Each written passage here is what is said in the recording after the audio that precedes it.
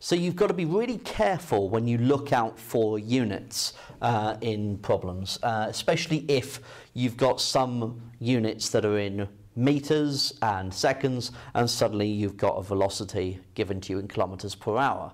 Um, so you've got to be able to convert uh, kilometers per hour to meters per second, meters per second to kilometers per hour if required, um, and potentially kilometers per hour per hour into meters per second per second, uh, an acceleration. Okay, so how do we do this?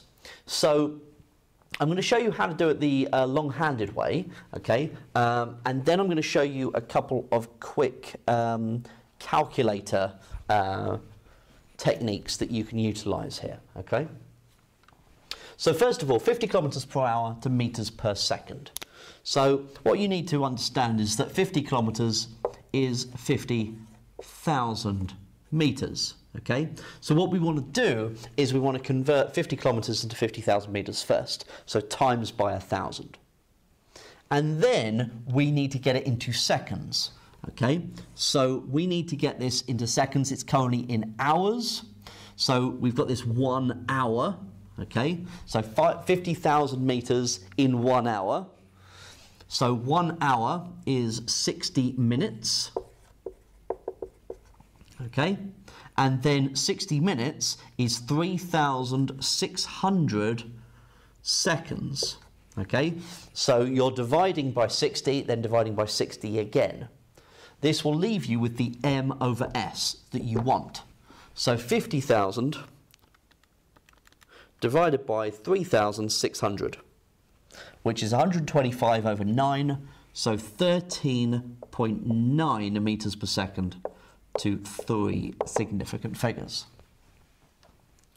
So now if we can want to convert 30 meters per second into kilometers per hour, then I know that 30 meters, okay, is actually 0.030 kilometers or just 0.03 kilometers, okay? Now I'm currently saying I'm going to do that in one second, okay? Now one second is one sixtieth of a minute,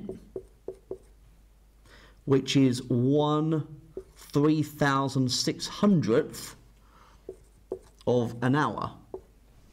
Okay, so I've got this 0.03 divided by 1 over 3,600, which is the same as 0.03 times 3,600, and that gets me 108 kilometers per hour.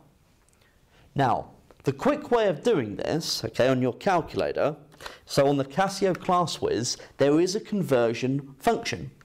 So if you go to shift and then press number eight, you'll see there's a CONV, convert, okay? And it gives you a few options. There's length, area, volume, mass, scroll down, velocity, pressure, energy, power, scroll down, temperature, okay? So actually, if you go back to velocity, that's the one we want. So we go to velocity, and you'll see there are two options kilometers per hour to meters per second, and meters per second to kilometers per hour.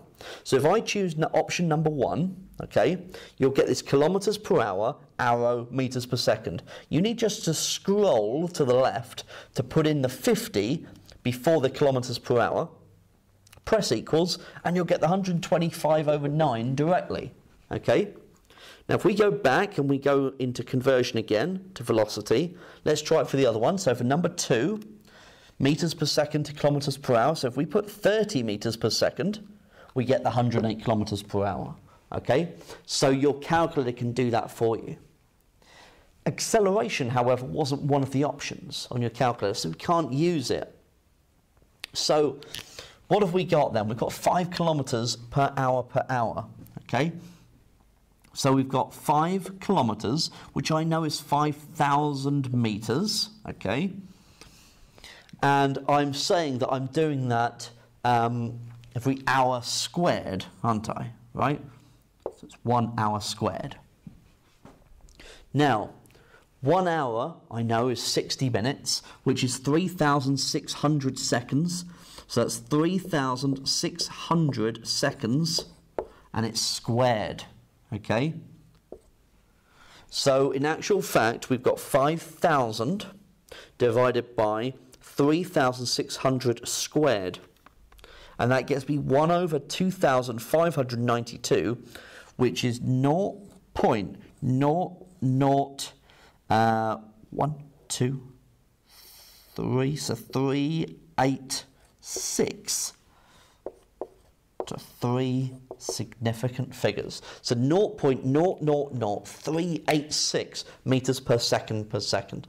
That is the same as traveling, uh, is accelerating at 5 kilometers per hour per hour.